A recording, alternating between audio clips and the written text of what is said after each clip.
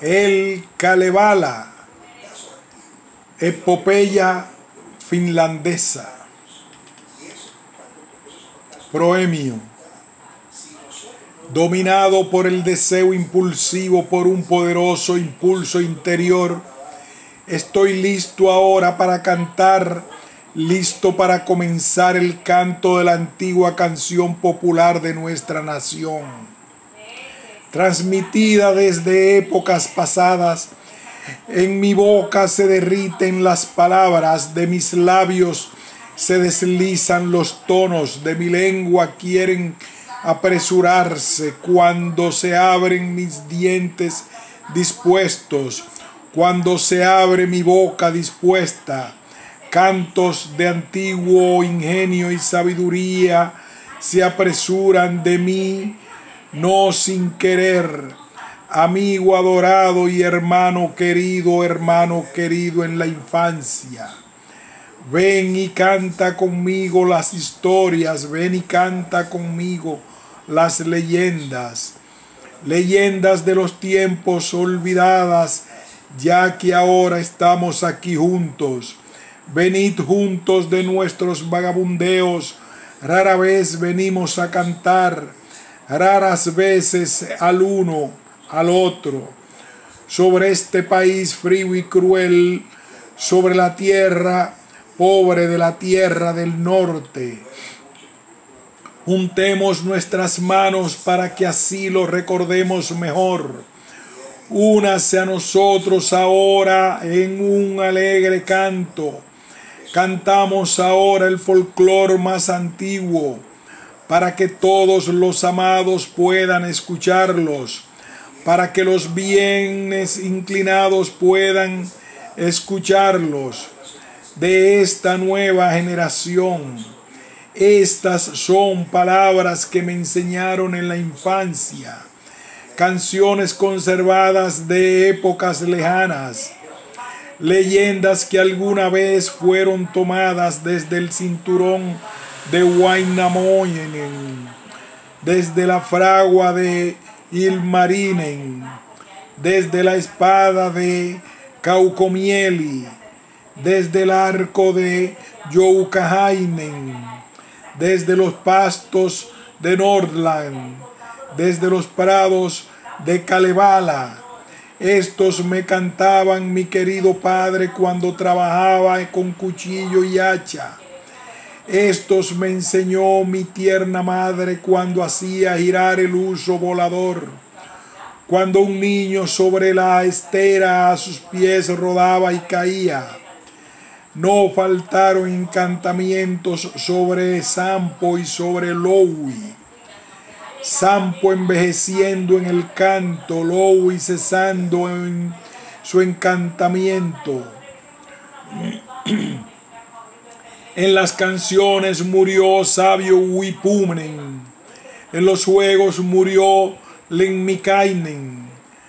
Hay muchas otras leyendas, encantamientos que me enseñaron que encontré a la vera del camino reunidos en los fragantes bosquecillos, arrastrados de las ramas del bosque, destripados entre las plumas de los pinos, perfumados de las enredaderas y flores, susurrados halló mientras seguía a los rebaños en la tierra de prados melosos, sobre colinas verdes y doradas después de Muriquí, de pelo negro, y el quimo multicolor cuyas ruinas me han dicho el frío, muchas lagunas me han traído la lluvia, otras canciones me ha cantando los vientos.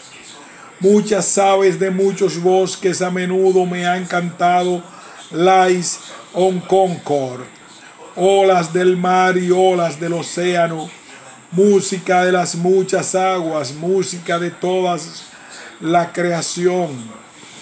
A menudo han sido mi guía y maestro, frases que crearon los árboles enrollados en paquetes. Los trasladé a mi antigua morada en los trineos, a mi cabaña. Los até a las vigas de mi bujardilla, los colgué en los portales de mi vivienda, los coloqué en el cofre de cajas, cajas forradas con cobre brillante. Durante mucho tiempo estuvieron dentro de mi morada a través de los fríos vientos del invierno. En mi morada durante siglos debo reunir estas canciones del frío y de las heladas, recogerlas Debo traer este nido de cajas guardianes de estas leyendas doradas a la mesa de mi cabaña, debajo de las vigas pintadas en esta casa famosa y antigua. Debo abrir ahora estas cajas, cajas llenas de historias maravillosas. Debo ahora desatar el fin de esta bola de sabiduría ancestral estos lazos ancestrales desentrañar.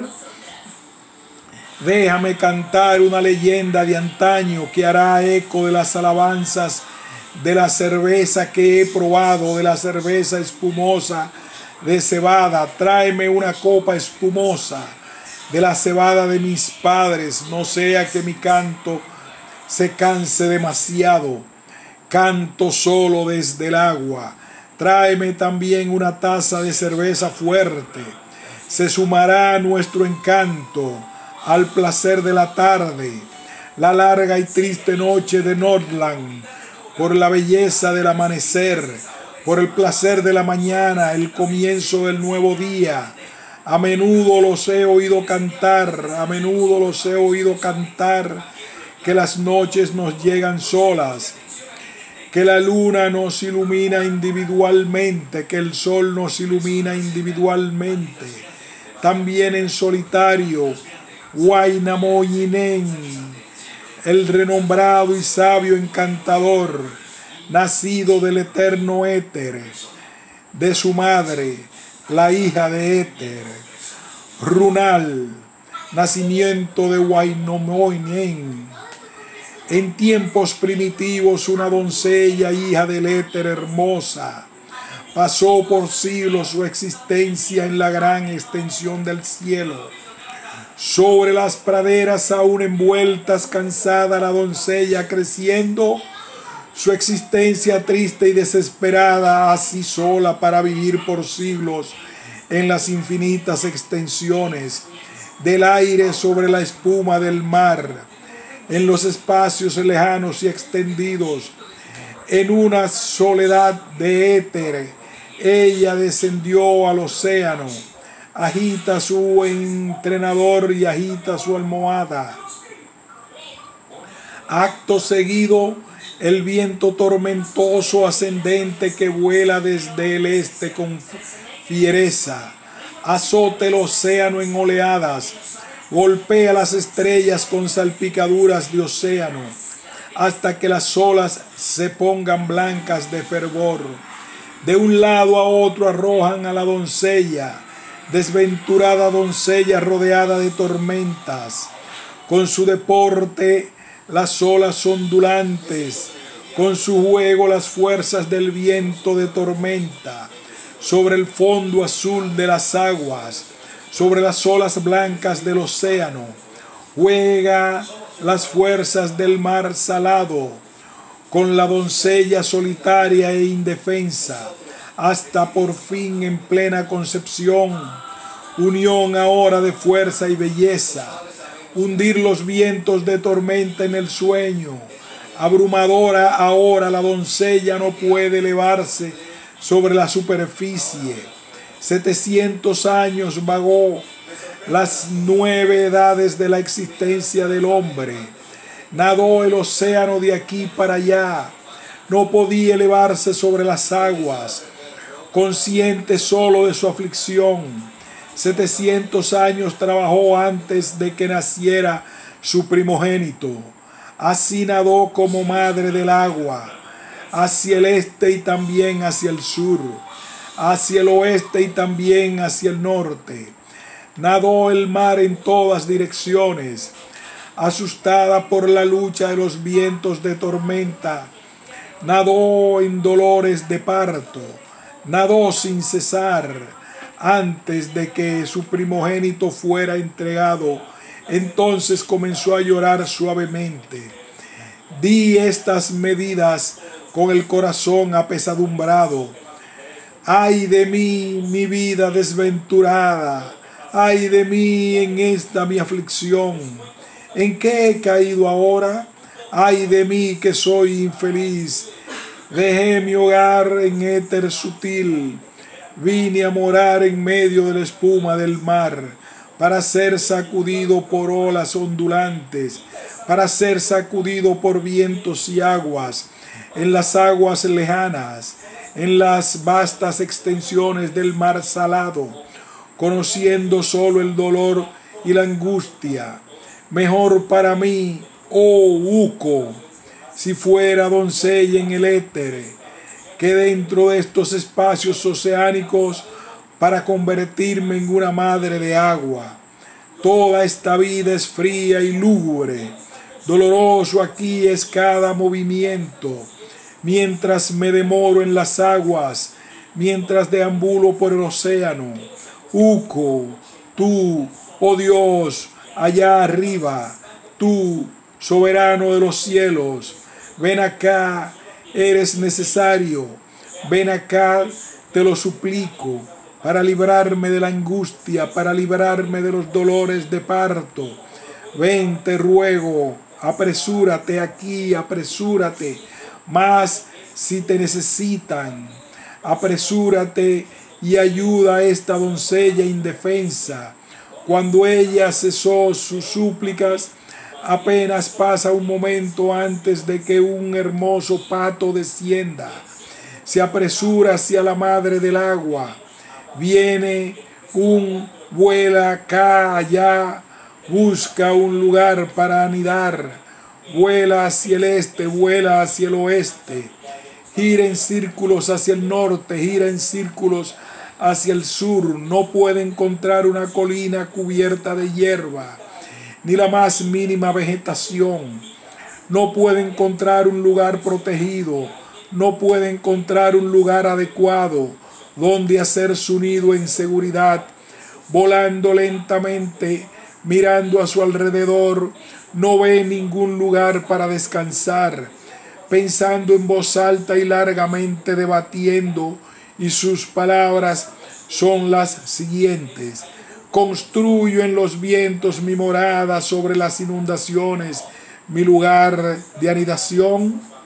Seguramente los vientos destruirán lo lejos las olas lo lavarían. Entonces la hija del éter, ahora, ahora la desventurada madre del agua, levantó los hombros del agua, levantó las orillas sobre el océano, para que el pato pudiera construir su morada, construir su lugar de nidificación en seguridad entonces el pato en la belleza volando lentamente mirando a su alrededor, espía los hombros de la doncella, ve las rodillas de la hija del éter. Ahora la desventurada madre del agua piensa que son colinas cubiertas de hierba en el fondo azul del océano. Desde allí vuela y planea lentamente, se posa suavemente sobre la rodilla, encuentra un lugar apropiado para anidar, donde poner sus huevos en seguridad. Allí construye su humilde morada, pone sus huevos dentro a placer. Seis, los huevos de oro que pone allí. Luego un séptimo, un huevo de hierro. Se sienta sobre sus huevos para incubarlos. Rápidamente los calienta en la rodilla de la desventurada madre del agua. Eclosiona un día, luego un segundo, luego un tercer día se sienta y eclosiona. Más cálida crece el agua a su alrededor, más cálida en su cama en el océano, mientras su rodilla con fuego se enciende y sus hombros también arden. Fuego en cada vena corre. Rápido la doncella mueve sus hombros sacude sus miembros en sucesión, sacude el nido desde su fundación, y los huevos caen al océano. se hacen pedazos en el fondo de las aguas profundas e ilimitadas. En la arena no perecen, ni los pedazos en el océano, pero transformando en una belleza maravillosa, todos los fragmentos se unen formando dos piezas en número, una superior, otra inferior, igual a una, otra. De la mitad del huevo, la inferior, crece la bóveda inferior de tierra. De la mitad superior restante, crece la bóveda superior del cielo. De la parte blanca vienen los rayos de luna, de la parte amarilla el sol, de la parte abigarrada la luz de las estrellas, de la parte oscura crece la nubosidad, y los días avanzan velozmente, velozmente pasan los años. Del resplandor del nuevo sol, del resplandor de la luna llena, todavía la hija del éter nada el mar como madre de agua, con las inundaciones extendidas ante ella y detrás de su cielo y océano, finalmente alrededor del noveno año, en el verano del décimo año, levanta la cabeza por encima de la superficie, levanta la frente de las aguas y comienza al fin sus obras. Ahora comienza sus creaciones sobre las azuladas cordilleras de agua, sobre los poderosos desperdiciar ante ella, donde su mano giraba en el agua, se levantaba una loma fértil donde se descansaba su pie. Allí hacía un agujero para los peces, donde ella se sumergió bajo las aguas. Cayó las muchas profundidades del océano, donde a su lado la volvió. Allí ha subido el nivel de los bancos, donde su cabeza apuntaba hacia tierra. Aparecieron amplias bahías y ensenadas cuando ella desde la orilla nadó una distancia y descansó sobre su espada. Allí las rocas que hizo y moldeó y los arrecifes y los arrecifes ocultos creó, donde los barcos naufragan tan a menudo, donde tanta vidas han perecido, así fueron creadas las islas. Las rocas se fijaron en el océano se plantaron pilares del cielo, se crearon campos y bosques, piedras cuadriculadas de muchos colores brillando a la luz del sol plateada, todas las rocas estaban bien asentadas, pero el cantante Huaynomoinen aún no había visto la luz del sol, no había visto la luz de la luna dorada, aún no había sido entregado. Huaynamoinen viejo y fiel, detrás de su calabozo, treinta veranos en total y de inviernos también treinta, pacífica en el derroche de las aguas, en el seno inflexible de la amplia mar, bien reflejada, largamente considerada, cuán no nacido vivir y florecer, en el espacio envueltos en oscuridad, en límites incómodos, donde no había visto la luz de la luna, no había visto el sol plateado. Entonces se pronunció estas palabras, déjese oír de esta manera. Llévame, oh luna, te ruego, tómame, llévame tú, oh sol, sobre mí, llévame, oh oso del cielo, de esta prisión oscura y lúgubre, de estos portales inadecuados, de este estrecho lugar de descanso, de esta morada oscura y lúgubre.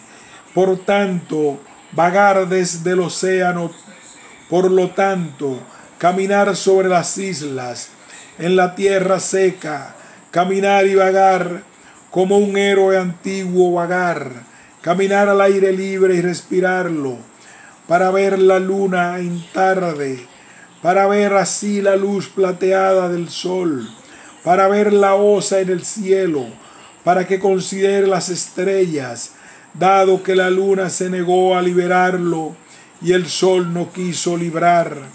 ni la osa mayor brindaría ayuda. Su existencia cada vez más cansada y su vida solo una molestia. Estalló entonces los portales exteriores de su oscura y lubre fortaleza. Con su dedo fuerte, pero sin nombre, abre la cerradura resistiendo.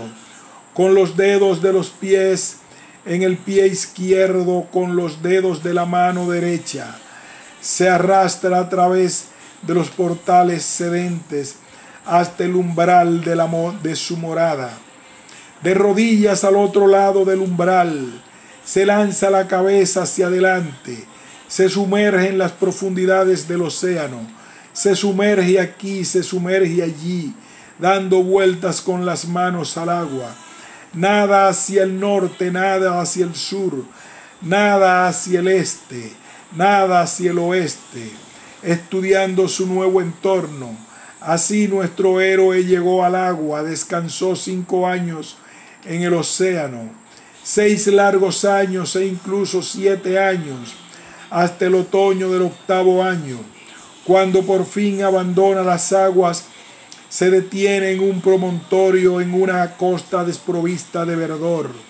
De rodillas deja el océano, en la tierra planta su pie derecho, sobre la tierra firme su pie izquierdo, rápidamente gira sus manos a su alrededor, se para erguido para ver la luz del sol, se para para ver la luz de la luna dorada, para que pueda contemplar la osa mayor, para que lo consideren las estrellas, así nuestro héroe Huaynamoinen, así el maravilloso encantador fue liberado de su madre y matar la hija del éter.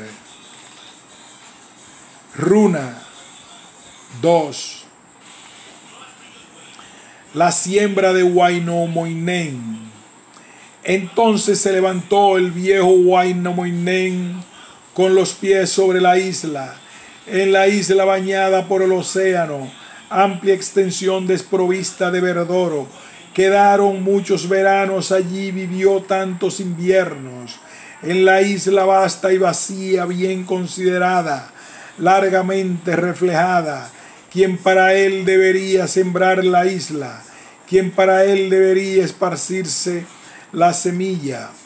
Pensó al fin en Peleruoinen, primogénito de las llanuras y praderas, cuando un niño delgado llamado Samsa, quien debería sembrar la isla vacía, quien debería esparcir las semillas del bosque, Peleruoinen, consintiendo así, siembra con diligencia la isla, semillas en las tierras que esparce, semillas en todos los pantanos y tierras bajas, semillas del bosque en la tierra suelta.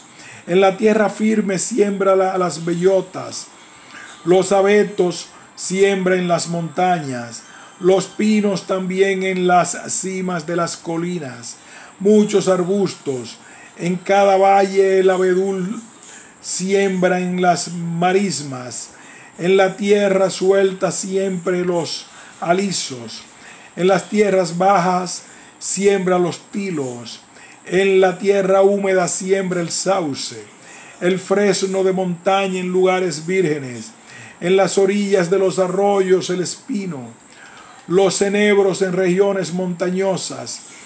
Este es el trabajo de Peloro Woinen, Slender Samsa en su infancia. Pronto brotaron las semillas fértiles, pronto los árboles del bosque crecieron, pronto aparecieron las copas de los abetos y los pinos se extendieron lejos. Los abedules se levantaron de todas las marismas.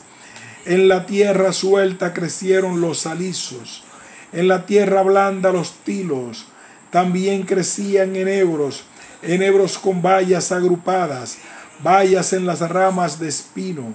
Ahora el héroe Wainamoinen se levanta para mirar a su alrededor cómo crecen las semillas de Samsa, como la cosecha de Peloro Woinen, ve los árboles jóvenes extenderse espesamente, ve el bosque elevarse en belleza, pero el roble no ha brotado, el árbol del cielo no crece, aún dentro de la bellota durmiendo, su propia felicidad disfrutando. Luego esperó tres noches más y esperó tantos días, esperó hasta que se desvaneció una semana. Luego volvió a examinar el trabajo, pero el roble no crecía, no había dejado su morada de bellotas. Guainamoinen, héroe antiguo, espía cuatro doncellas en la distancia, novias de agua, espía una quinta en la orilla del mar suave y arenosa, en la hierba y en las flores cubiertas de rocío, en un punto que se extiende hacia el mar, cerca de los bosques del isla. Algunos estaban cortando, algunos estaban rastrillando, rastrillando lo que se cortó juntos. En una hilera en el prado del océano surgió un gigante todopoderoso, Alto y robusto, compacta todas las hierbas que las doncellas habían estado rastrillando cuando un fuego dentro de ellas se enciende y las llamas se disparan hacia el cielo hasta que las hileras se queman hasta las cenizas. Solo ahora quedan cenizas de la hierba rastrillada. En las cenizas de las hileras tierna deja los lugares gigantes. En las hojas planta una bellota. De la bellota brota rápidamente. Crece el roble, alto y majestuoso.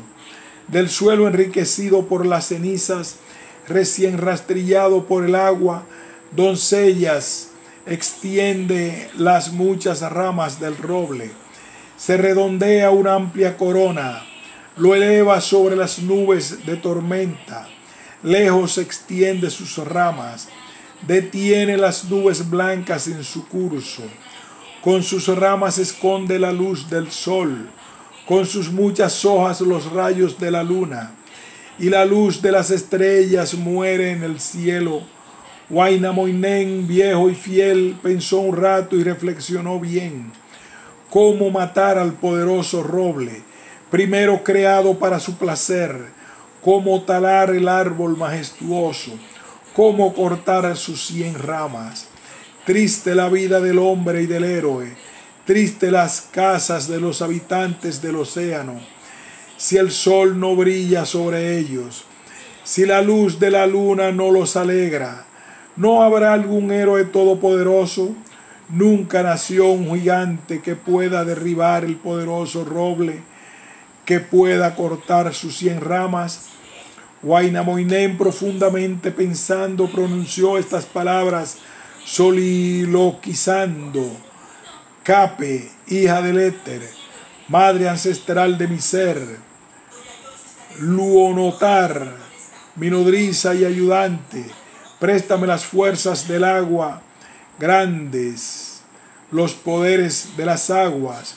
Préstame los fuerza de los océanos para derribar este poderoso roble, para arrancar este árbol del mal, para que brille de nuevo la luz del sol, para que la luna resplandezca una vez más. Inmediatamente surgió una forma de los océanos se levantó un héroe de las aguas, ni perteneció al más grande, ni perteneció al más pequeño. Largo era como el dedo índice del hombre, más alto que la mano de la mujer. En su cabeza un gorro de cobre, botas en sus pies eran de cobre, guantes en sus manos eran de cobre y sus rayas eran de color cobre. Cinturón alrededor de él hecho de cobre, hacha en su cinturón era de cobre, y el mango de su hacha era tan largo como la mano de una mujer, del ancho de un dedo era la hoja, luego el fiel pensamiento, Guainamoinen, un rato y bien considerado, y sus medidas son las siguientes. ¿Es usted, Señor divino o humano? ¿Cuál de estos solo conoce? Dígame cuál es su nombre y posición. Se parece mucho a un hombre. Tiene el porte de un héroe. Aunque la longitud del dedo índice del hombre es escaso, tan alto como una pezuña de reno. Entonces volvió a hablar Wainamoinen a la forma del océano. En verdad te considero humano, de la raza de los héroes pigmeos. Bien podrías estar muerto o moribundo, apto para nada más que perecer. Respondió así el héroe pigmeo. Habló el pequeño del océano, el valiente Wainamoinen. Verdaderamente soy Dios y héroe de, la, de las tribus que gobiernan el océano. Vengo aquí para talar el roble, cortar sus ramas con mi hacha. Wainamoinen, viejo y fiel, responde así al héroe nacido en el mar. Nunca has tenido la fuerza suficiente. No a ti se te ha dado la fuerza para arrancar esto, poderoso roble árbol a perturbar esta cosa del mal, ni podar sus cien ramas. Apenas había terminado de hablar, apenas había movido sus párpados antes de que el pigmeo pleno de desarrollo rápida se convirtió en un poderoso gigante con un paso. Abandona el océano, se planta a sí mismo, un héroe poderoso en los campos de los bosques circundantes, con su cabeza atraviesa las nubes, de rodillas su barba se extiende y sus cabellos caen hasta los tobillos. Lejos aparecen los globos oculares, muy separados sus pies están estacionados, más lejos aún sus poderosos hombros. Ahora comienza a afilar su hacha rápidamente hasta, el, hasta un borde, hasta un borde la afila, usando seis bloques duros de piedra arenisca y de piedras de afilar más suaves, siete directo al roble que gira. Allí acecha el poderoso gigante en sus ropas largas y espaciosas, aleteando en los vientos del cielo. Con su segundo paso se tambalea sobre la tierra de color más oscuro con su tercera parada firmemente plantada, alcanza las ramas del roble, golpea el tronco con una hacha afilada, con un poderoso golpe lo golpea, con un segundo golpe lo corta. Cuando su espada desciende por tercera vez, de su hacha las chispas vuelan hacia arriba. De la encina se dispara el fuego. Antes que del hacha descienda por cuarta vez, cede el roble con cien ramas, sacudiendo la tierra y el cielo al caer. Hacia el este se extendía el tronco. De lejos hacia el oeste volaban las copas de los árboles. Hacia el sur se esparcían las hojas. Hacia el norte sus